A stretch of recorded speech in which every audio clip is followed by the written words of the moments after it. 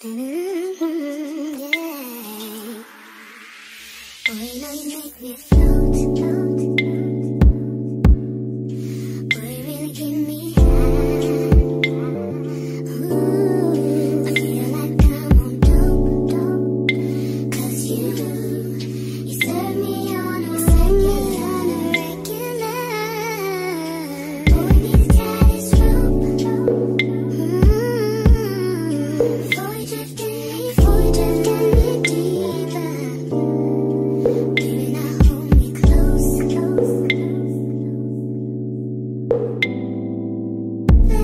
This overboard.